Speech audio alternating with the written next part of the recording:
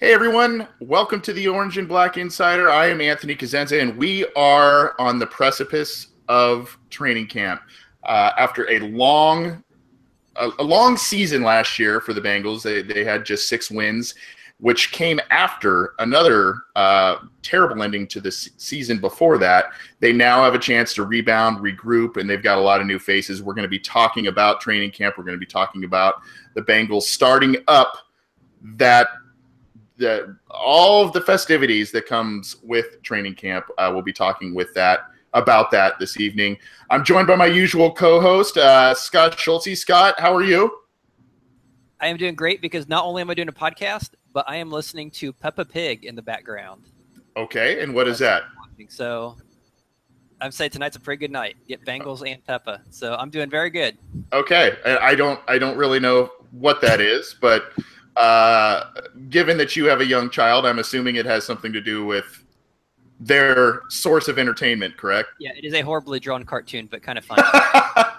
okay, okay. And and by the way, we're going to be talking about uh, that. That's going to be a theme for if, if you tuned in last last episode, we did a question of the night, and that's going to kind of be our theme a little bit tonight because we have a special guest co-host, Cody Tewmey, and for uh, a lot of you that follow Cincy Jungle, uh, read read the material there, and uh, are really into the draft. You probably are familiar with Cody Tewmey and um, the stuff that he puts out for the draft um, in terms of Bengal stuff and in terms of guys that do a lot of studying. He and Joe Goodberry are two of my favorites personally. So it's good to have you on, Cody. We've worked on other podcasts before. We worked at Cincy Jungle before. Uh, just since you're it's your first time on the program, just briefly tell us a little bit about yourself and uh, how you are, fortunately or unfortunately, associated with the Bengals.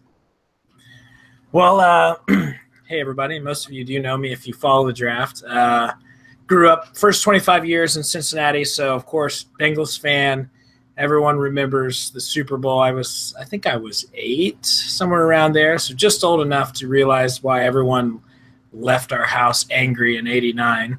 So um, moved to California, kept my Bengals fan. And obviously, that's when I started writing for Cincy Jungle.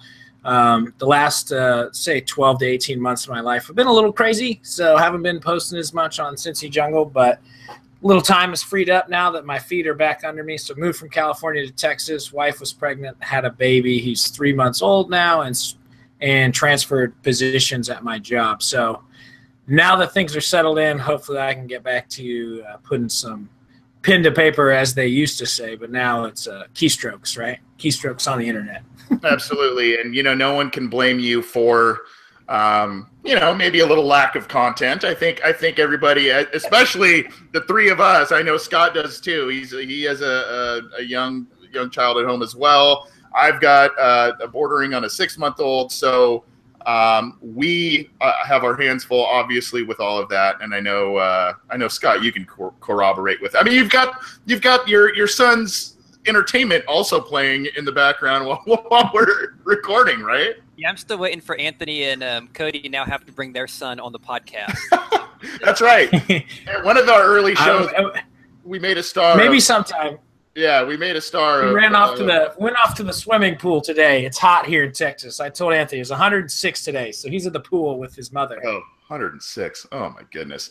Um, well, because of this, it got it got us thinking a little bit because Cody was originally from Cincinnati. Obviously, he's a Bengals fan at heart, but obviously covers the draft and all of that as well. But the question we want to pose to everybody tonight, we had a question of the of the week last episode, and we have another one this episode. And it it is does or should Cody have the heart to allow his son to be a Bengals fan? Now, obviously, this is a Bengals fan podcast. I think we all would say, of course, Cody, you should. However, we've all experienced, especially uh, those of us in our age group, have experienced quite a bit of heartbreak as well and uh, given our love for our children, we probably don't want them to experience some of that heartbreak uh, that we've experienced. So, question of the night to the listeners is Should Cody allow his newborn son to be a Bengals fan, especially growing up in Texas, which is Dallas Cowboys country? Scott, what do you think? Should he? Yeah, I'd say absolutely, and I'd say several reasons. Uh, I mean, well, the first one because you know Dad's a Bengals fan, so the son obviously, you know, ideally you want the kid to follow in Dad's footsteps. Uh, I mean, that's what being parent is is kind of raising your kids, kind of trying to instill in them the values and whatever. So yeah, my, my son, as far as a three year old can be a Bengals fan, is a Bengals fan. Uh, and the other good thing is it kind of prevents bandwagoning because at some point when they finally win that elusive playoff game, you know, it's kind of cool to be like, no, I'm, I'm not just wearing this jersey now, you know, this um, this throwback Dalton jersey, I'm or whatever it would be, you know, when they, whenever they finally win that game, it'd be, hey, I've been, you know, in it with the thick and thin, and it, you know, it teaches commitment and you ride the ups and downs. But look at Browns fans. I mean, if you grew up in the Cleveland area, I mean, those people are so dedicated that when they win, they can truly, truly celebrate it. So I'm like, yeah, um, I, obviously the pressure will be, you know, be local, but there's something to be said for being, you know, kind of the outsider, um, the one that kind of has a reason for rooting for that team, and not just because, you know, it's the Cowboys or Patriots or you know a, a popular team that's the trendy pick. So yeah, I'd say def 100% definitely. I, I wouldn't say 100% probably, but, uh, you know, I understand the reasoning. Greg L in the YouTube chat already says yes with a couple of exclamation points that you should be doing that. Let us know, sound off uh, in the YouTube chat as well as the live comment stream that we have going at Cincy Jungle. Uh, every week, this show is live on both of those platforms. And uh, not only can you send us questions, which we will be trying to take at the end of this program, but you can interact with other Bengals fans, kind of talk about uh, what's going on with the team, and and and join us in our discussion. That's that's what this show is about. We want to make it interactive, and we are grateful for all of the live viewers and all of the feedback we get.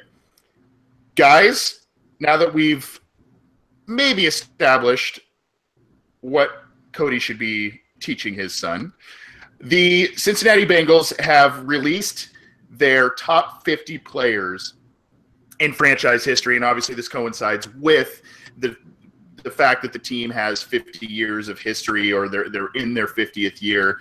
Uh, I understand some people have some confusion that it says 1968 to 2017, but you, you got to count both of those years, and there's 50 total years uh, for all of you math majors out there. But there's some su- surprises. There was some disappointments guys that were placed in the countdown that were very surprising.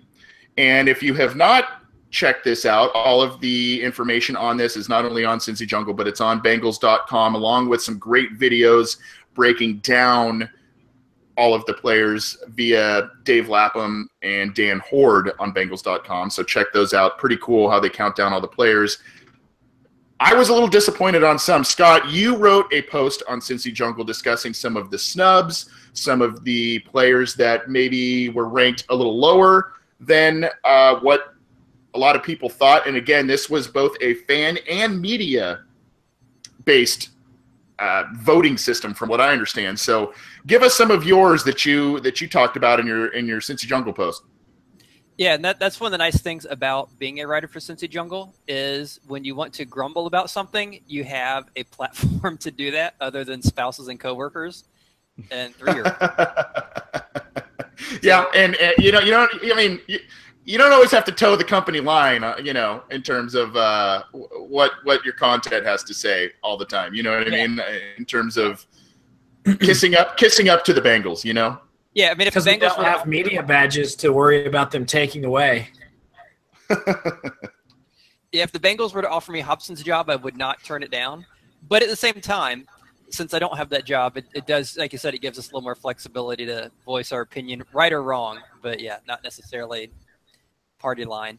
That being said, the first 50, there were several um, position i guess people who were added who were omitted and then also the order of some of the people that to me kind of struck me as kind of odd or just incorrect. And you kind of see this when you when they do the selection committee for the ncaa basketball they vote you know who people like to grumble and moan oh who is this guy was left out? I can't believe they left you know this team out or put this team in and this team's a two seed you know what the heck?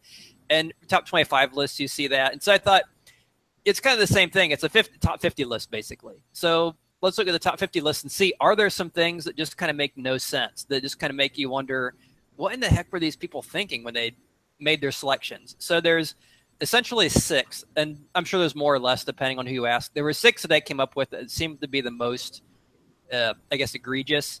So I'll just kind of run down them, explain why I listed them, and then I'll just kind of turn it over. Um, see if you guys see what you guys think of those or have any additional ones.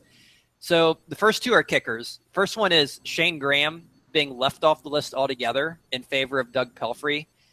That was one that surprised me right away because not only has Graham have more career kicks, he has a much higher field goal. I think he has the Bengals all-time record in field goal accuracy for a career. So like 87%. Pelfrey is only 77%. He so Graham made more kicks, was more accurate. They played same amount of time. So you know, head to head, there's really no reason Graham should be below Pelfrey, let alone all off the list altogether. So that one just struck me as kind of odd. The other one that really baffled me, so I had to dig into this next one a little deeper, and it still baffles me, was Jim Breech in the top five. Now, I'm a like most everyone who followed the Bengals, um, you know, for more than 10, 15 years who remembers him. He always seemed to be a fan favorite. Was a great guy. Um, seen him at local things. Uh, you know, this seems like a, a good person, a team person. People really like him played a ton of games, uh, has the most points in Bengals history. So I get those longevity things, but at the same time, he was never a great kicker. He's a career 70% kick, never made a Pro Bowl, never made an All Pro. So basically, the voters are saying that the fifth best player ever in these 50 years of the Bengals history is a guy that was never even good enough to be in a Pro Bowl. So to me, that's kind of struck me as a very odd decision. The third one, yeah. and I expect this one to get some grief was uh, Ickey Woods, where I just think he's rated too high. I mean, I, I loved the shuffle as a kid. I like the Geico commercial, you know, going to get me some cold cuts. Uh, but putting him ahead of Pete Johnson was one that just kind of um, really baffled me. I think Pete Johnson has the team uh, franchise record for most career rushing touchdowns. He's like 64 or something like that. So to me, this just screams people don't remember who Pete Johnson is and they remember Ickey Woods because of the dance in the commercial. And I don't think it was really based on anything other than just kind of popularity.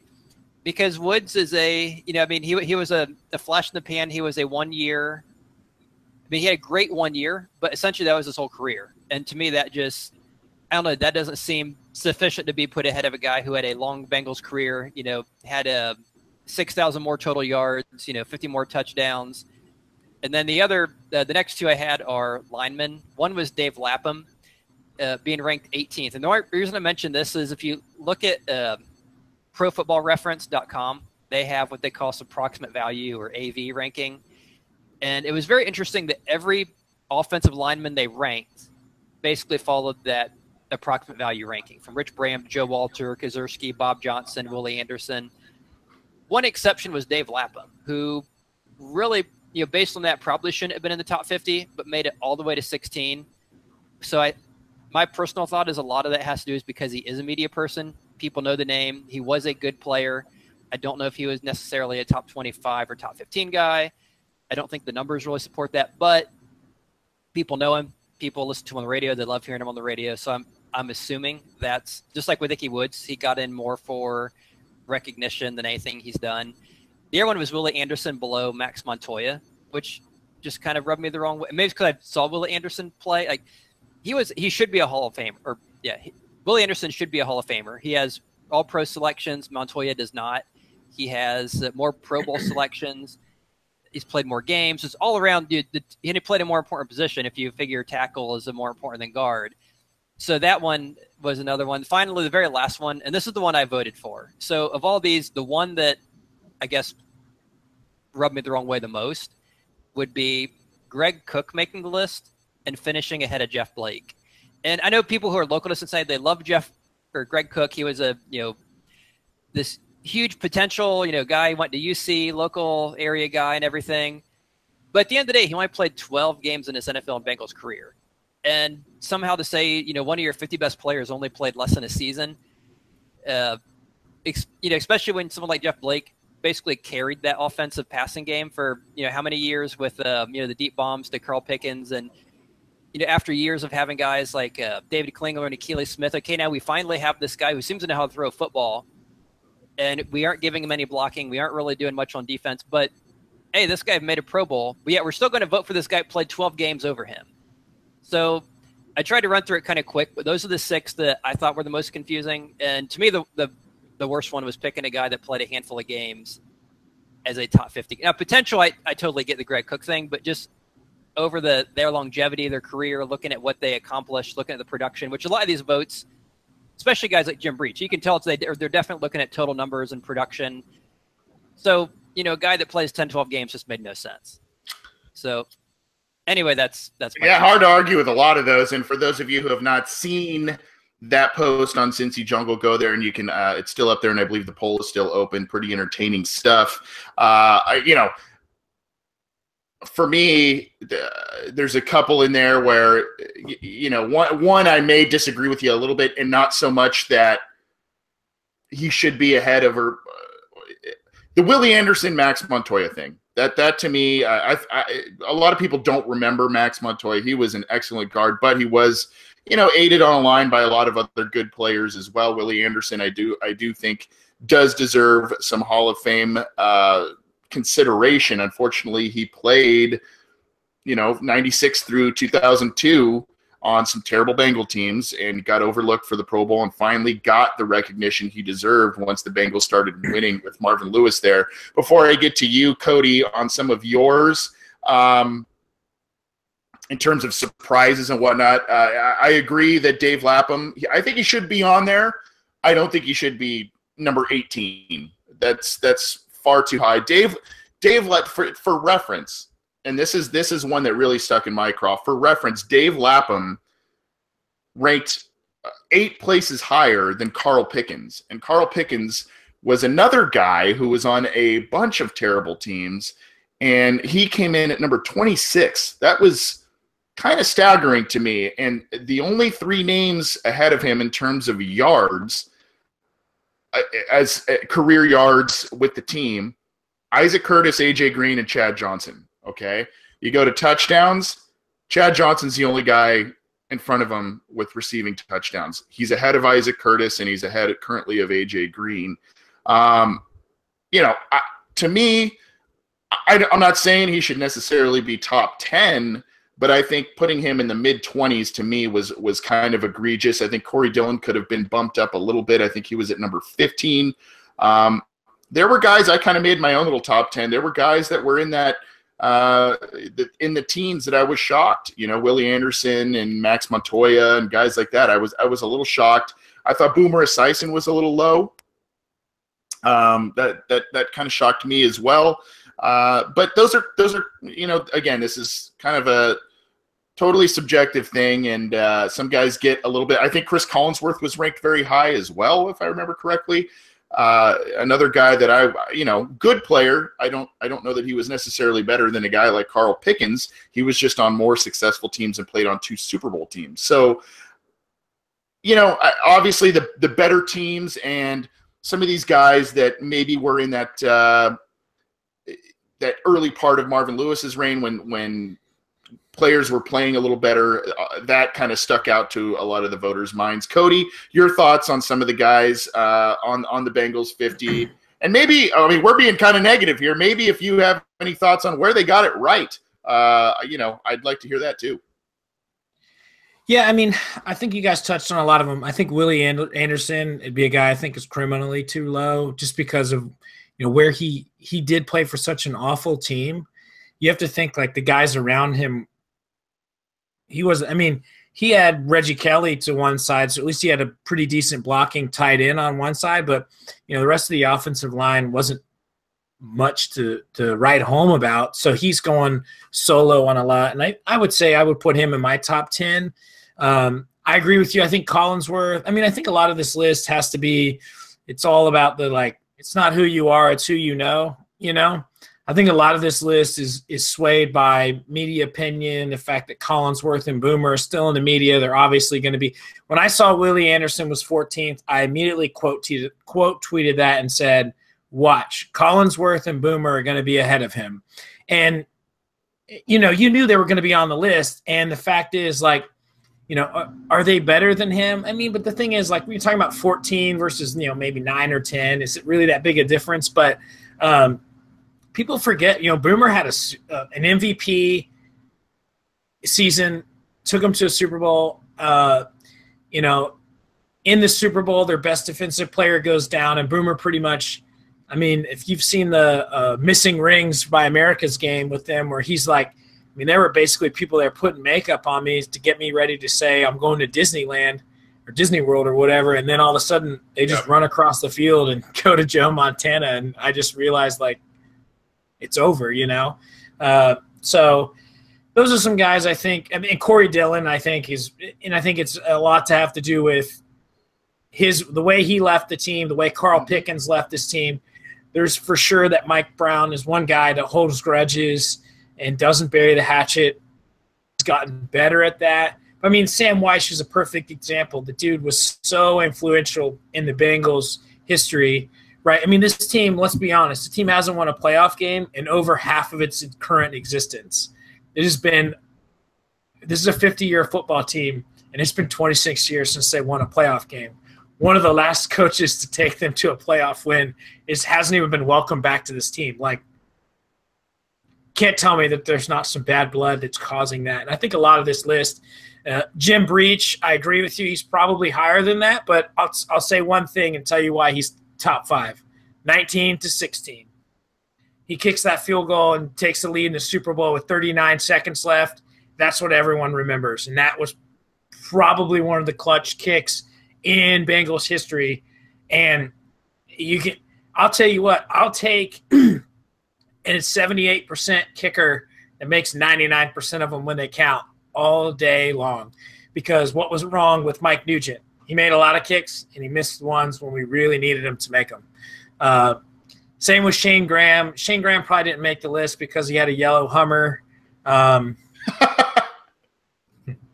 that's a true story. He has a yellow Hummer. Uh, I used to work. I at, remember. Uh, Trop, shout out to Jeff Ruby's Tropicana. Uh, he drove a yellow Hummer. He would always drive them there like a sucker and Justin Smith and all those guys would put all their drinks on his tab and then make him drive them home. So That's shout out to Shayne Graham if you're listening to this. Thanks for getting those guys home safe back in the day when none of them were getting home safe. Chad Johnson didn't ever drink there. He hid in the corner and drank cranberry juice. But anyways, I got that. As I digress, uh, I agree with you. I think a lot of it. Carl Pickens, Corey Dillon, some of those guys that left on ugly terms is why they are ranked when they are. I wouldn't be surprised if like they had already mapped out the top 50 and then like Mike Brown like snuck in there late at night and moved him down like five or six people. Yeah. Like, yeah, yeah. yeah. No, no, you got to you got to move, move them down. It, it was good. top 10. Yeah, it was good to see. I think Chad was I think he was top I think he was number 4 uh if I yeah. if I remember correctly. Uh, it was it was, was, top top six or something. Yeah, yeah, he yeah. He was he was very high, and it was he was always the guy that wasn't. I mean, he wasn't on the level of Dillon and uh, and Pickens in terms of being at odds with management, but it was still very good to see him that high, and and deservedly so. Obviously, one of the best players in in franchise history, and obviously, if you don't know who number one is, if you haven't seen the list, then you don't really know who you don't know your Bengals because it's obviously Anthony Munoz is the best player to ever wear a Bengals uniform and and a great great guy at all. Scott, any additional thoughts since you put this you, you kind of came up with this post for Cincy Jungle? I thought it was I thought it was very well done. Just a couple. The first one you mentioned Chad Johnson. I'm but I can't find Chad Ocho Ochocinco anywhere. well, and you're not gonna. Uh, you're not gonna. And, you know, I, I, know he still goes. I know he still goes by it. Personally, I I never call him that.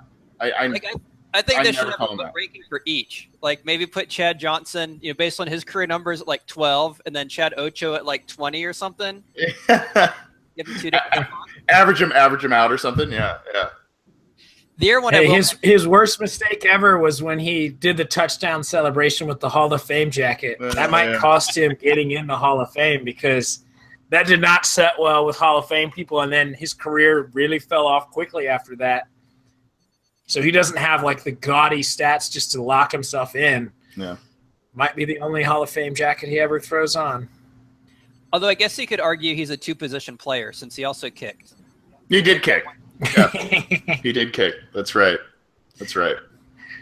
Well, will throw out one final thing on this. Yeah. Uh, if anyone hasn't been to it yet, uh, I'll go ahead and throw a link to it in the YouTube um, question section, and it's still posted on Cincy Jungle.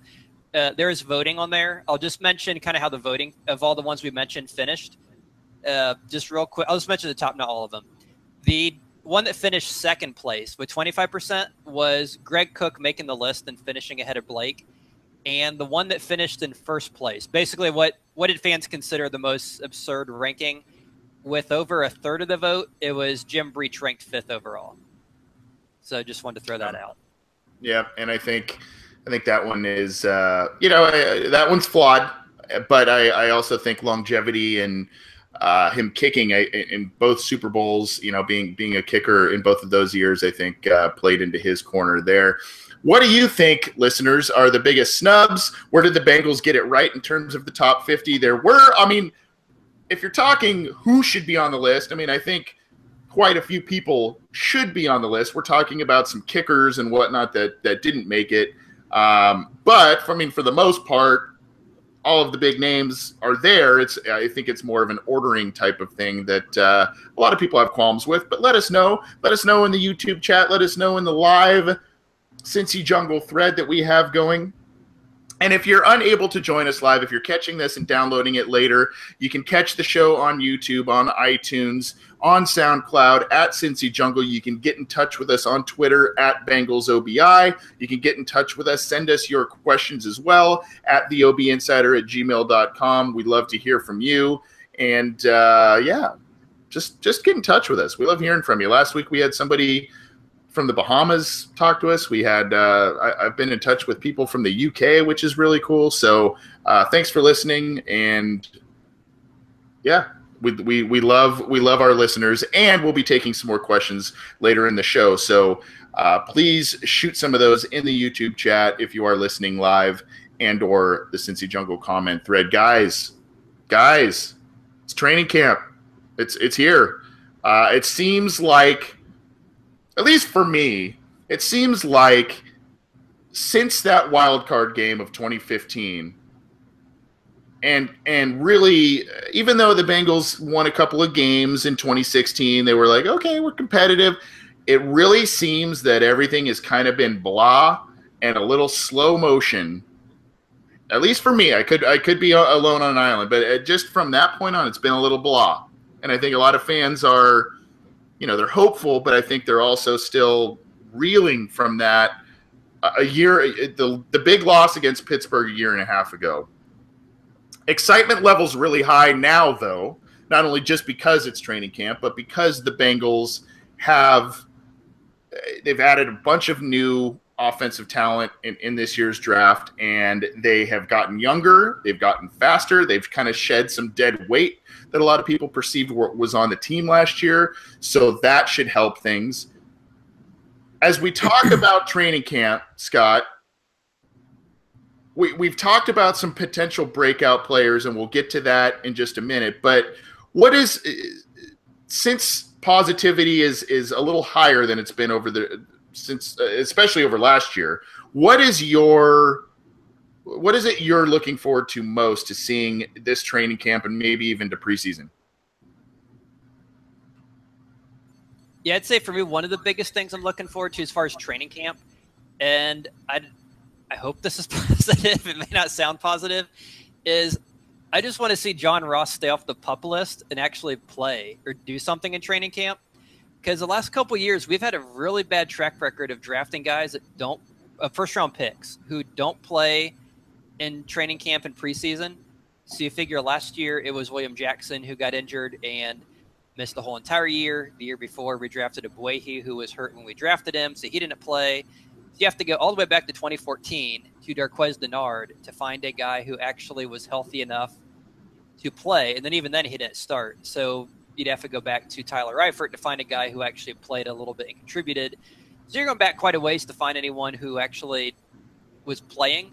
So to me, that's one of the biggest things I want to see in training camps. I just want to see John Ross not start the year on the pup list, you know, actually get in there at some point during training camp, play in a preseason game. And the biggest thing I'm looking for as far as pre or preseason games would be Joe Mixon. I mean, it's it's one and Carl Lawson, and I guess it's two things. Uh, because it's one thing to see them, you know, the OTAs to see what they can do when there's no contact. But I, I want to see what these guys do against real competition. I want to see is Lawson really as dominant as he looked in the OTAs as everyone was raving, and if he is, you know, why did this guy fall the fourth round? If he's really that good of a pass rusher as we seem to think he is, and the same thing with uh, Joe Mixon. I mean, Anthony and I have both. Um, you know, waxed eloquently about Joe Mixon, how great it was the Bengals should draft him, and then when they drafted him, how great it was they drafted him. So I'd like to see you know that come to fruition. Let's. So I'm looking forward to him actually playing against some NFL caliber defenses, and you know in preseason, and I, I assume he'll get a lot of playing time in the first couple weeks. And I want to see what what this guy does. And it may not be against starters, but I just want to see what this guy does against NFL teams. So I guess for me, those are the biggest training camp things I'm looking forward to. Yeah, and a couple of news and notes. I guess I should have started this segment off with that. Uh, so shame on me, slap on the wrist. But uh, a bunch of there was an announcement on Wednesday. Now this doesn't mean things can change, but the Bengals have placed rookie running back Jarveon Williams and safety Brandon Wilson on the active non-football injury list uh, to start camp. John Ross was not put on any kind of NFI list. That could change. Marvin Lewis did say a, a day, a couple days ago that you know we could see him in the preseason. He's obviously got an off-season shoulder injury he's nursing at the moment, but uh, you know, he he seems to be available. Tyler Eifert seems to be available. There are reports that Giovani Bernard could be available at the beginning of camp. So uh, just some news and notes, and and this obviously could affect your answer here, Cody. Uh, what what might you be looking? Uh, what are you looking forward to the most as training camp opens up for the Bengals in this pretty pretty new look team compared to last year? Yeah, I think for me, uh, the two main position battles that I care about, and I'll kind of touch a little bit on what Scott was talking about. I think the real concern with Lawson uh, is he's had a, a, nagging hip injury, and NFL teams just freak out about the hips. Uh, obviously, Dennis Pitta uh, is a good example of what happens when they go bad, um, and it's just a chronic thing. And I think that's what caused him. But you take one look at Carl Lawson, and you're like, I do not want to face him. Uh, he is he is a massive, ripped, quick individual. Um, he's a little bit stiff because he is so big, um, and I think that's probably a little bit contribute to why he he fell as well. But it's mostly injuries, I'd say, on his part. I'm surprised he made it to where he did, but I think teams have just shied away from injuries with this draft class that was loaded with edge rushers and potential guys. Um, for me, uh, I think it goes right to there. Defensive line, that how that line shakes out. I mean, I was really happy to see that they let Peko, uh, you know, move on. And nothing against Peko. Thank you for your services. He has been a big piece of this defense over the last decade or so. But I think it was time to move on, and Billings should take his role, uh, as well as you've got. Um, the battle between, you know, is it Brandon Tompkins, is it Pat Sims? I'd say one of those two gets cut. I'd like to see DeShawn Williams get some get some snaps. So a lot of the battles there on the interior defensive line, I think, can really. I'd like to see this team follow the same movement that they made in the in the draft, in the sense of, hey, look, let's get younger, let's get more athletic, let's get faster. I want to see them continue that trend and shed the whole we need to keep these veterans around in the locker room. Andy Dalton, AJ Green should be enough of your veterans on offense. Uh, regardless if you like it or not, you've got uh, you know Vontaze Burfict and Pac-Man on defense. Um, whether or not we want to admit it, uh, based on what the players talk about, their leaders in that locker room. So you have veteran leadership. So let me see you move forward and go ahead and just do those uh, offensive lines, stay younger, get those quicker, younger players in, and it's a young man's game, especially on defense. So I think that's something I want to see is see them move forward with the offensive or defensive line and keep some of those younger bodies in that. Uh, same way with the secondary. Uh, KeiVarae Russell is a good player. I think he's an athletic player. I don't want to see mm-hmm. them cut him Uh, obviously, whatever happened in Kansas City happened, but um, I, I, think he's a good player. So I want to see how the secondary shakes out. So I'd like to see some, you know, contact drills between those guys and, and some one on ones with the receivers and the secondary, so they can get uh, and just kind of see how they shake out the roster. They're probably going to go two quarterbacks, right? But I think one of the funny things with training camp, speaking of you know videos and what have you, is watching a guy beat the guy who's going to get cut three weeks later, um, yeah, and yeah. then everyone decide that he's the greatest guy that we need to keep him, and he needs to get, you know, the uh, his name touchdown Jesus. What what's his real name? Uh, the guy from Wisconsin Whitewater that everyone's uh, oh Jay Kumerow. Jay Kumerow. Jay Kumerow, right? Kumerow should be getting like 30 snaps a game based on Twitter because he catches like three touchdowns in training camp. But uh, I'm excited to see some of the battles at different positions, uh, especially the young draft picks on the defensive line. Um, I think that's important, especially Billings and William Jackson that we didn't get to see last year. Uh, essentially, you've got 13 new players coming in from this draft class. So I wouldn't be surprised if the Bengals try to pull a little bit of AJ McCarron craftiness with some of these guys that have some nagging injuries coming in, and uh, or the NFL P or NFL I list, so they can stash them uh, and not lose them if they cut them and go try to get them on the practice squad. Because I think some of those late picks that you if you don't if you don't keep those players, that's a that's a poor draft on their part. You've wasted draft equity if you up with that pick or traded that pick to another team for next year's future pick. If you take a six round pick and trade up for them and then cut them, and then someone else takes them, right? I mean, that's not good use of draft. If you're going to keep 11 draft picks, you better keep 11 players or 10. Right. Right, and and just real quick, we're kind of running up a, a little bit against uh, some time constraints, but since you are a draft guy, Cody, uh, we did ask Joe Goodberry when he was on the program a while back his thoughts on the draft class. While that is a couple of months now in the rear view, can you just give us a minute or two about what you think about this year's draft class and who you think the stars are? I mean, obviously John Ross and Joe Mixon headline it. Uh, you you talked about Carl Lawson, and, and I think it was James Napke in the YouTube chat who was talking about Carl Lawson as well. But just real quickly, your your thoughts on this year's class? I thought it was pretty well rounded, and I think the Bengals got younger and faster, which they desperately needed. Scott agrees. What do you think? Yeah, I think some guys at late late rounds that you might not be surprised, or you might be surprised presently uh, with is like a guy like Jordan Evans. Uh, I think he's exactly what they've needed at linebacker. He's a quick guy that can cover. He's not so much a run stuffer, but I mean he'll he'll he'll tackle when needed. But he's a fast guy that can cover at linebacker. In the new NFL, you need a quote unquote eraser linebacker. So I think that was a really good pick for them.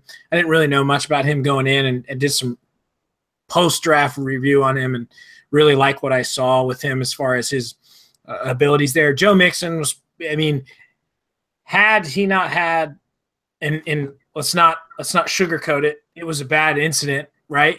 Had that had not happened, he goes top ten, guaranteed. I mean, he's a lock. Uh, he's just as good as Fournette, maybe better because of his hands. I mean, the guy can catch as well as most receivers. So, uh, like Scott said, he's a guy you're really going to want to see. And and how do you get rid of the the stigma that you've drafted this guy with this horrible baggage, right? Ask ask the Kansas City Chiefs you put the guy on the field, you let him make some magic, and then the signs go from, hey, you know, woman beater or whatever the signs were early in the season to Tyreek Hill, score some touchdowns, right? So right. unfortunately, a lot of times the fans have a pretty short memory when it comes to a guy that starts lighting up the scoreboard. So if you're going to take a risk on a guy like that, put him on the field, let his let his fields speak for him, and start to put some of that baggage in his rearview mirror. Um, I think I think those are I think Jordan Evans is a guy that'll really surprise people. I think Willis is a guy that'll really take over for. I think Dunlap is gone. Let's be real, he's gone after next season. You see the contract that uh, uh, Griffen got today. I mean, that's going to be a starting point for Dunlap. That's more than Mike Brown's going to want to pay, and Carlos Dunlap's not going to take any less. So, I think Willis fits right into his role in two years and gives him some time to develop behind him. And I actually, if this if if this if this season falls off the rails, I'd be trading Carlos Dunlap. There's a bold prediction. I do it. I mean, if you know you're going to leave next year and you're not going to make him a competitive offer mm. like Zeitler, why wouldn't you move him when he has good value? When you know at the at best you have him for next year, but at least you can see what you have in front of him. Maybe you pull a first round pick that you can get a top flight offensive or defensive lineman to replace what you lose in him. And you know, Cody Tewmey, our uh, his first stint on our on our show listens to our program when he's throwing out a bold prediction. So I, I, appreciate that. And that would be bold if this season not only does get off the rails, but if the Bengals end up dealing Carlos Dunlap. I will be brief with what I'm looking forward to in training camp. I will say I'm looking forward to seeing seeing the stars back. Uh, uh you know, we talked about.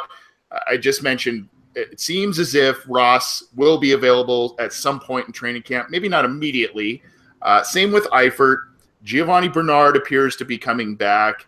AJ Green is healthy from the hamstring injury, and you got those guys back. And as you watched the Bengals last at the end of last season, that offense was stagnant. That offense had very little big play capability. Obviously, now you add Ross, you add Mixon. Uh, you, that that helps, but you get your stars back, and you get you get these guys back. Maybe they're not going to be in full pads right away. Maybe they may not play in two or three of the preseason games, but they will be back. And it seems, uh, barring any kind of setbacks, that they will be ready for week one. And this team hopefully will be full go and can hopefully avoid extra injuries there. I will say one other thing I'm looking forward to. You guys kind of touched on it a little bit. The, uh, with Adam Jones now getting suspended for the first game of the year, the spotlight is brighter on William Jackson III and on Darqueze Dennard. And it seems as if that to start opposite of Dre Kirkpatrick in week one, it's going to come down to one of those two guys. I still think Darqueze Dennard is a better slot NFL corner. You don't want to hear that when you talk about a first round NFL corner, but I just think truth. I think I think it, I think that's what it is. And William Jackson III is a better boundary outside corner. Now, I think there are a couple other guys that could vie for time and maybe rotate in on that week one uh, situation. Josh Shaw could be a guy they mix in and out. Uh, you know, there there are a couple of other guys. KeiVarae Russell may may stick on the ros- roster, and though he'd probably be a, primarily a special teams guy, he could be a, you know a boundary player as well. But I think corners, especially with what's going to ensue, barring a successful appeal by Adam Jones. I think that's something I'm looking forward to as well. You guys kind of mentioned William Jackson there, but we'd like to hear what you all are looking forward to most about training camp. Maybe it's just the start of some something resembling some real football and mm-hmm. uh, a, and something that resembles uh, a, a, hopefully a hopeful turnaround season by the Bengals after uh, really a, a, tough year year and a half of of between Andy Dalton's injury, the wild card loss last year, uh, just a, just a really tough year and a half for this club. Hopefully, they get things on the right track and stay healthy. Let's be quick with this, and we'll try to get to a listener question or two at the end if we have some time. Please leave those in the YouTube chat. Please leave those at in the Cincy Jungle comment thread. We are looking for some. We'll try to get to a couple. Scott, we you and I over the past couple of weeks have been doing some Bengals potential breakout players. We've talked about Andrew Billings. We've talked about uh, you know I, I, think Jake Fisher was one last week. Uh, you talked you talked about a couple of others as well. Give me another that you're thinking of, especially now that we're getting real close to training camp. What Was that a what specifically were you looking for? Potential breakout player. Okay, on that, I'm gonna. I guess off the top of my head, I'm going to. Did, did we say Jake Elliott? No, no, we said Jake okay, Fisher. I'm gonna go Jake Elliott. Okay. Okay, I heard a Jake. I'm gonna go Jake Elliott because I'm sorry, my I was. Uh, yeah, you got you got you got your program in the background. I, I get you, my friend. I got I know where your priorities are. that being so, that being said, I'm, I'm going to go Jake Elliott for several reasons. One, uh, this is a team that I think is going to be more improved from last year. So I think he's going to get a lot of chance to move the ball. Um, in one of the posts I did last year about fantasy football, I had looked at kickers, and one very interesting thing is there's a strong correlation between how many yards an offense generates and how well your fantasy kickers perform. And I think that for whatever reason, if you go back the last decade, that's just what it is. And I think this is a team that could have an improved offense from last year. They have a lot more weapons. So I think their kickers going to have a lot of chance to make kicks, not just extra points, but a lot of field goals. And so he's a guy who I think is going to win the job. He's a guy who has been pretty good from distance. If you take out his sophomore year, uh, when he was a young little, you know, 18 year old or whatever, he's been a very good kicker, very good from long, very good from, you know, never missed anything inside of 30 yards. He's someone who I think could come out of nowhere and possibly have a great season. Now, I don't want to say he's, you know, the next J- Justin Tucker or anything right away, but I, I, think he has a chance to surprise a lot of people, especially if he, you know, ends up uh, winning the job, which I assume he's going to win. I can't imagine them using a fifth round pick and making him the top kicker to cut him. Um, even, I mean, he'd have to do as bad as that Roberto Aguayo would to possibly be cut. So I think he's going to start, and I think he could surprise some people, especially if his offense does anything like they did two years ago. So there's my breakout guy.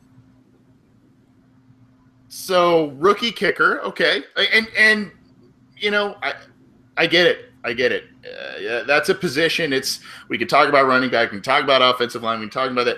That was a mess last year. That position, that was a mess. And if they can get a decent amount of improvement, be it on extra points or field goals, if they can get a decent amount of improvement from somebody, whether it's Jake Elliott or Randy Bullock or whoever, that I mean, Mike Nugent cost him wins last year, and you, I, we've talked about this on the program. You don't want to point right at one guy, especially the kicker, for that. But there were it, made a difference in terms of the win loss column. So, or the tie column, uh, if you're talking about the Bengals last year. So, Cody, in, in case you missed uh, kind of what we're talking about with the potential breakout players, it doesn't have to be a rookie. It could be. It could be a young player who maybe is stepping into a new role and might might start, might be a more heavy rotator in. Uh, maybe someone who flashed a little bit the year prior and now is poised for some sort of different or more significant role. Who are who is a potential breakout player for you as the Bengals are getting close to kickoff training camp? Um, Russell Bodine. Just kidding. Anyone who follows oh, me yeah, knows that's a joke. yeah, uh, I'm gonna go. With, hey, I'm gonna go with Shawn Williams. Okay. Uh, first year as a full starter last year. Uh, I feel like a lot of times last year he not look he looked out of position, but a lot of times it looked like he was going for the big hit, and uh, it, and it cost him uh, being out of position a bit. And I think this is a big year for him. And I think if he can play better, then Iloka can go back to his role of just honing the middle and getting a little bit more interceptions for Iloka, which can help flip the field for them. So I think if uh, I think Shawn Williams is a guy that I think can have a good year. Um, he's got a full year under his belt in that in that role now with his new contract. Less less of it eyeballs on him, right? Where he's just like, oh, I got this new deal, I have to live up to it, right? And I think he's kind of been. Uh, we go back to that playoff hangover, right? He had a really costly penalty that was not a penalty. Yep. In that game, I remember. Yep he lit him up over the middle, and I feel like he's played a little different since then. And you know they didn't find him or anything, but I feel like that's kind of hangover from that game is he's gone for the big shot, but he's also um, being really cautious of, of where he shoots his shots. So he's missed some. I think he's missed some tackles and missed some big hits because he's worried about getting fined or penalized. So uh, Shawn Williams, that's the breakout guy for me. And you know what? That's that's fair. You know, a lot of people think, well, maybe he broke out last year because he was a full time starter, signed that signed a decent contract. But you know what? I I agree with you on that. And uh, we talked we talked about this on the the program a few weeks ago. We had a listener question ask us about Shawn Williams and if he's worth the contract, all that kind of stuff. Mm-hmm. I I agree with you. There were some there were some issues early last season with with some coverage and things like that, but he got better as the year went on. And if you noticed when he stepped in a couple of times for Reggie Nelson the year prior when Reggie Nelson got hurt, he made some plays. And we talked about improvement. He's a guy who has consistently improved, especially from a guy that we heard about when the Bengals drafted that never even really played pass defense at Georgia. He was a guy that was like a run stopper only. He was almost a linebacker, like a Mark Barron or right. You know, uh, so you know he he has improved, especially against the pass. I don't think he will ever be a a Pro Bowl safety, but he's still very young and he keeps improving. And I think next to Iloka, and if that defense stays healthy, he could he could be um, one of those guys. I you know I I, I, I see I see what you're saying there. Now I'm going to go with a guy that you mentioned, Cody, in terms of when we talked about your thoughts on the draft class. I and he's a late round pick. He he may have you know just special teams duty. He may struggle to, to find the find the team, but I'm going to go a little risky and bold here, and I'm going to say Jordan Evans, the Oklahoma linebacker. He can cover. He can run. He needs work on tackling. He needs work on, uh, you know, uh, being a little more physical, shedding blocks. But this guy's an athlete, and he's a guy that he's a player that is kind of like an Emmanuel Lamur that that never really, you know, and, and unfortunately he never really fully materialized into what Paul Guenther wanted. But uh, the guy, I think he had four interceptions last year alone in college. I think two of them were returned for touchdowns he, he just he he made some plays. The team doesn't seem to be enamored with PJ Dawson at this point.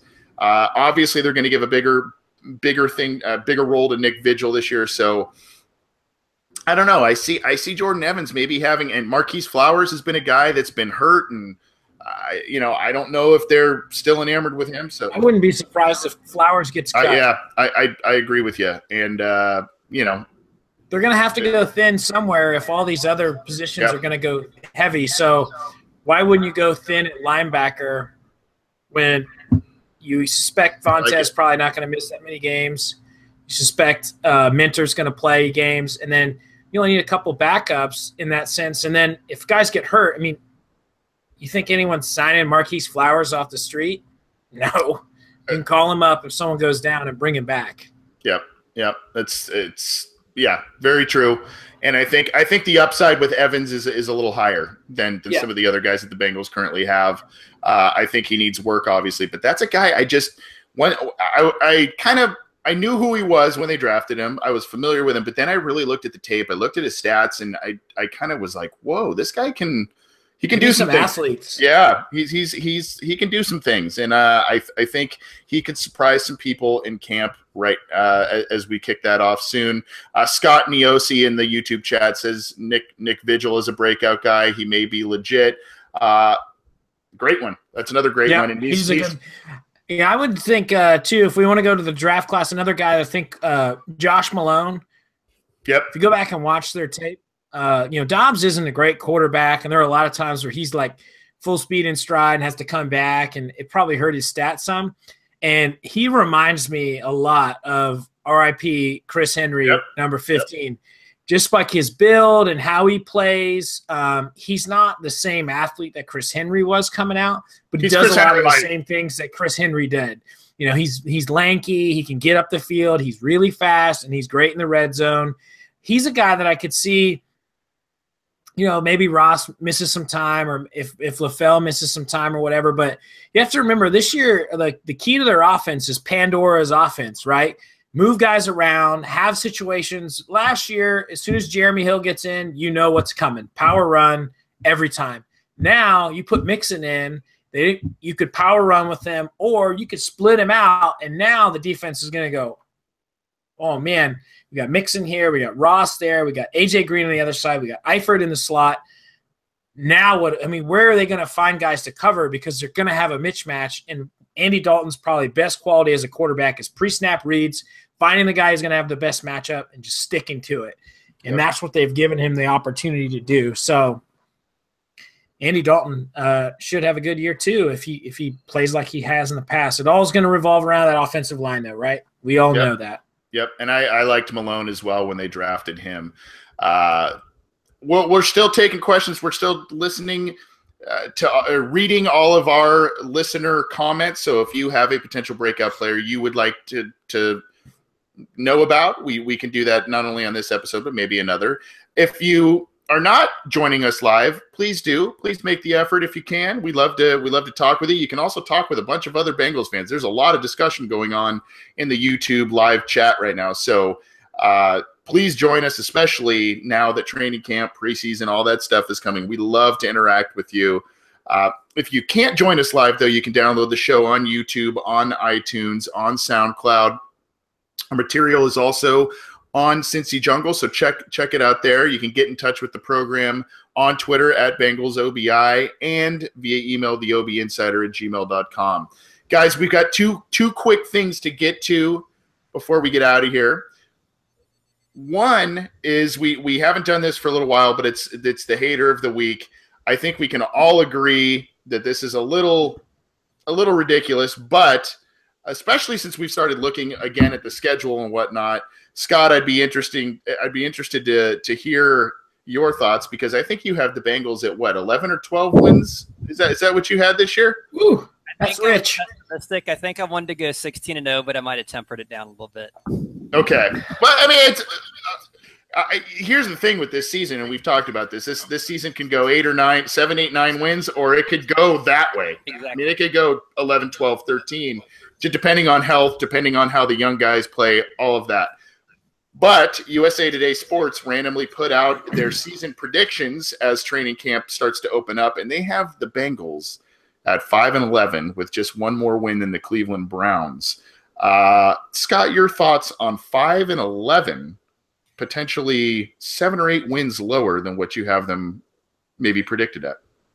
I think that's a very easy prediction to make because that's pretty much what they did last year. So it's basically saying, yeah, this is the record last year. I don't think they're any different, so I'm just going to give them the same record kind of mindset, which is a easy way to predict, but not a very um, I don't know in depth one for me, the reason I think why I was so bullish on them, and yeah, I, I think um, I might have said 10 or 12 wins in a previous podcast as a upside potential.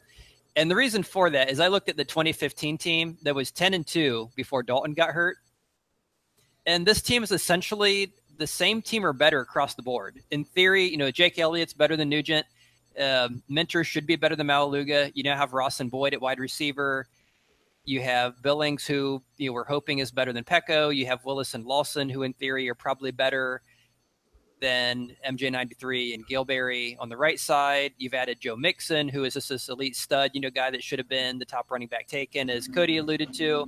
So, other than, and this is one caveat, other than offensive line, which is a, a yeah, just that one little thing. Yeah, and Cody lives in Dallas.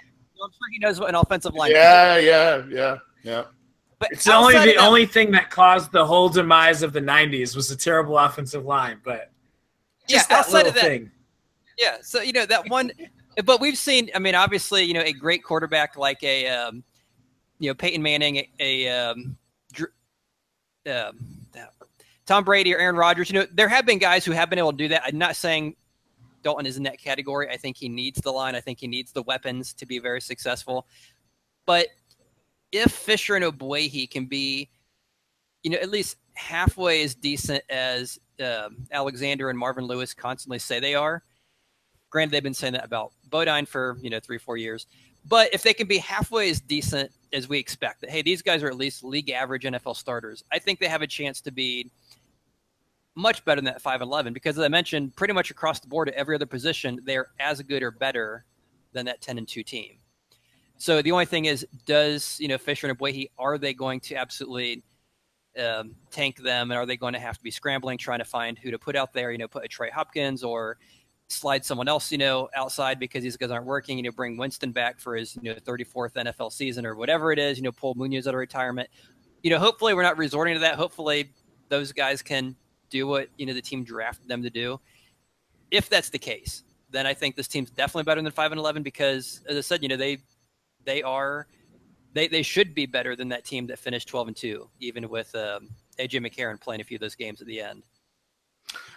Yes, and and to me, I think if you really go five and eleven, literally every single thing that could go wrong would have to go wrong for the for this team to go five and eleven. Not saying it's absolutely impossible, but you're t- this is a team with a lot of talent. AJ Green, they they added Ross, Mixon, Malone, Lawson, Willis. They've still got Dunlap. They've still got Geno Atkins. They're get, they they've got Tyler Eifert. Unless everybody gets hurt, and unless the offensive line is a complete disaster, and Andy Dalton completely regresses from the last two seasons that we've seen, Cody, I, I don't see five wins. I mean, I there's just too much talent for five wins unless this team just gets absolutely decimated by injury. Yeah, uh, so I don't have as much problem with the prediction of five and eleven as I do how they predicted the Browns to win four games and the Ravens to win seven or nine games. That Ravens roster is just, I mean, like you look at that roster and you, you tell me, I mean, they signed Jeremy Maclin. Okay, he's their number one receiver now who else is there? Breshad Perriman, who you'll attest, Anthony, that uh, AC when I did when we did the live draft at Lachey's, as soon as they picked him, I said, you know, like this guy fast, but he's not like a guy that's going to break the world. And and the, everyone just loves this Ravens team always. And it's like, dude, what's Flacco done without weapons? Nothing. And rookies, like okay, they have no weapons on offense. They just lost Kenneth Dixon, so now they their running back's going to be probably Terrence West or whoever else is still there. Uh, oh, Danny Woodhead, yeah, okay. I mean, journeyman who's was great in in San Diego, but just coming off an ACL.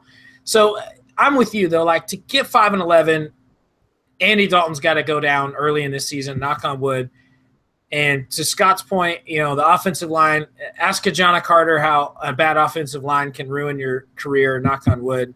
Things have changed a lot in science and in medicine for them. But um, I think that for 5 and 11 to happen, Andy Dalton's got to get hurt in one of the first couple games. And uh, and AJ McCarron has to go out there and struggle because, like you said, there's just too much talent they have a pretty easy uh, schedule this year because they were pool, you know, didn't play yeah. well last year. They're yeah. getting the third strength, the third best team in every division, uh, so that helps as well. Um, so easier schedule, more talent. It, would be hard to see them going five and eleven unless there was a litany of injuries to the team. Yeah. Um, the one one of the big beefs I do have with the team though is you see like guys like Willie Anderson going up to the Browns team and coaching their offensive line because he wants to. He said he doesn't want to be a coach, but he likes to help out. Like in this team reaching out to their alumni. Like you have two offensive tackles that will be the make or break most likely of your season, and a guy like Willie Anderson obviously wants to be coaching and helping out, and he's doing it with Hugh in Cleveland instead of in Cincinnati with the Bengals.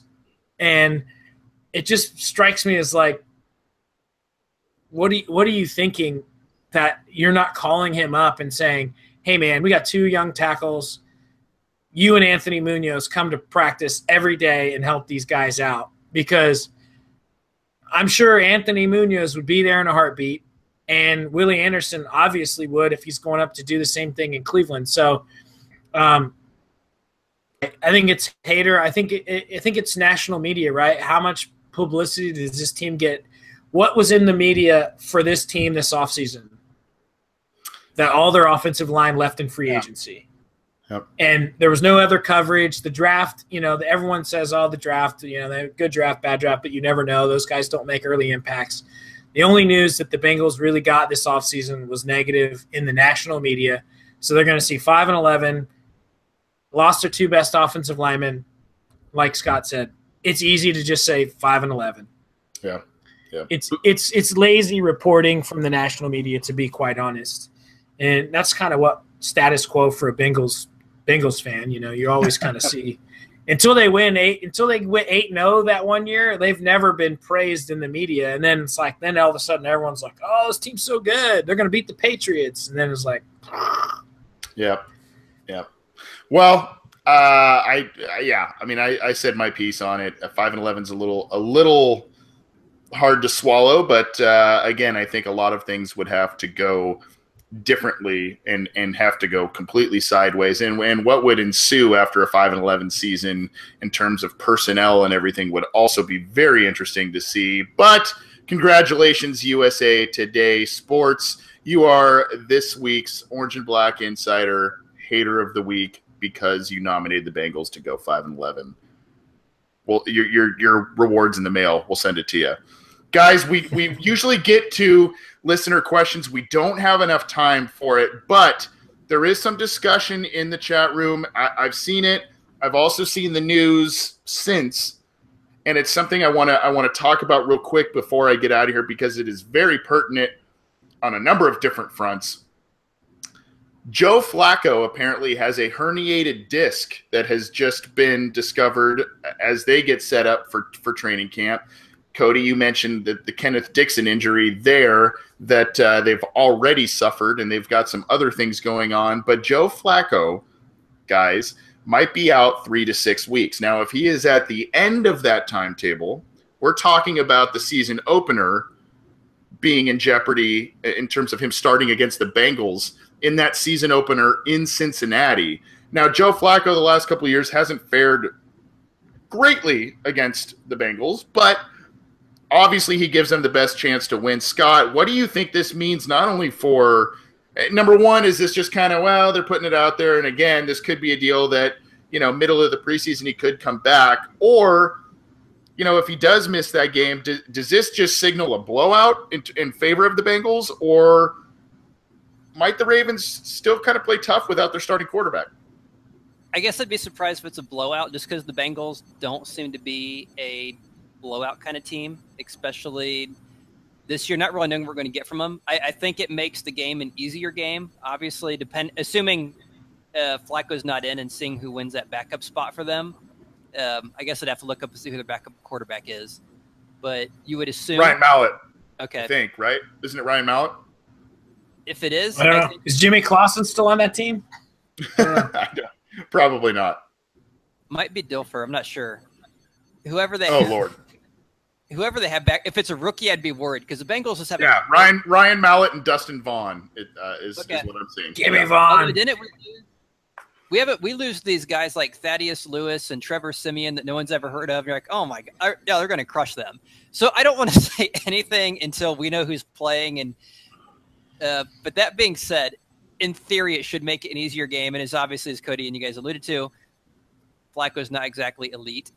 Ah.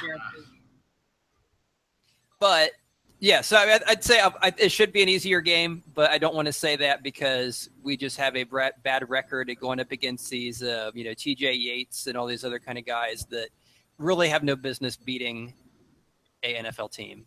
Yeah, and in, in the later stages of Andy Dalton's career, the Bengals have had a fair share of success against the Ravens, going head to head with them, and uh, at the end of 2015, when AJ McCarron was starting for the team, I believe they beat Ryan Mallett and and the Ravens handily at the end of at the end of the season there as well. Cody, before we get out of here, just some some final thoughts on the Joe Flacco news. Does it really affect the game quite a bit? Uh, if if he does happen to be out for that season opener, or can the Ravens still kind of play that ground and pound, nasty defense and keep it close type of game?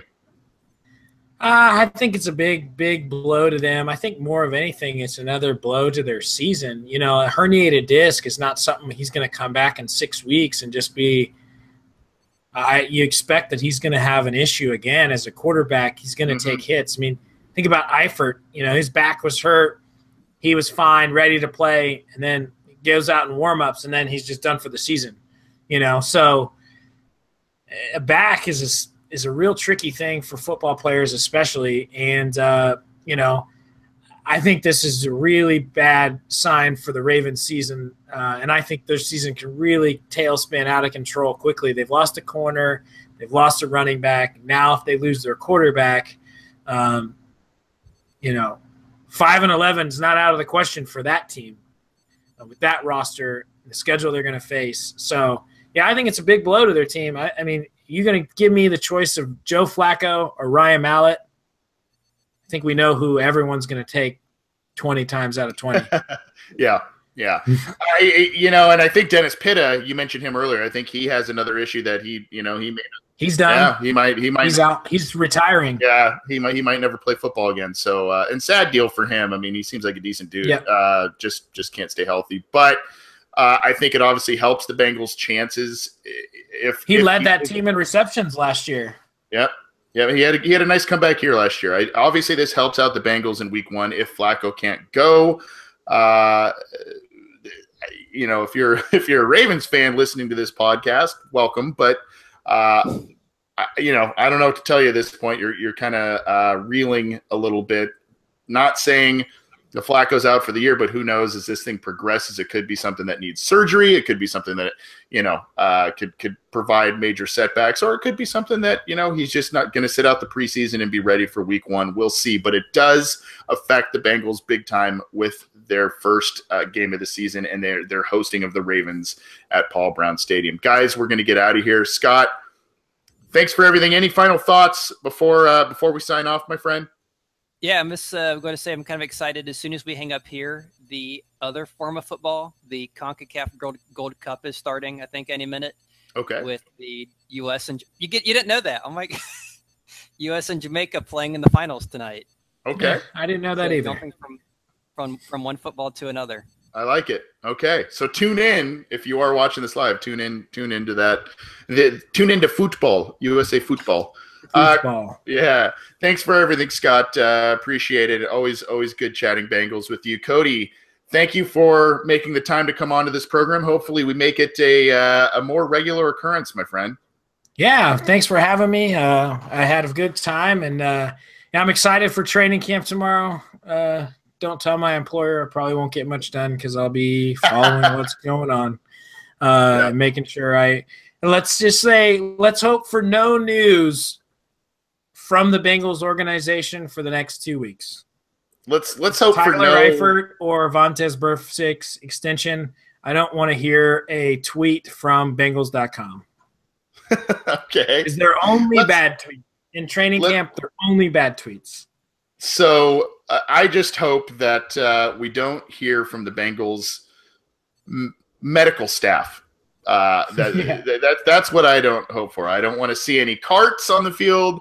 I don't want to see uh, updates on all of a sudden someone looks good and then they rehab and things look poor. I, I just kind of don't want to hear from the medical staff uh, for a variety of different reasons. And hopefully this team stays healthy, has all of its uh, you know all of its guns blazing as the regular season starts but you know there's preseason games to be played and a lot of practices to be had which start uh, real soon. So enjoy. Thanks for tuning in to the orange and black insider. For cody tewmey and scott schulze i'm anthony cosenza we will talk to you next episode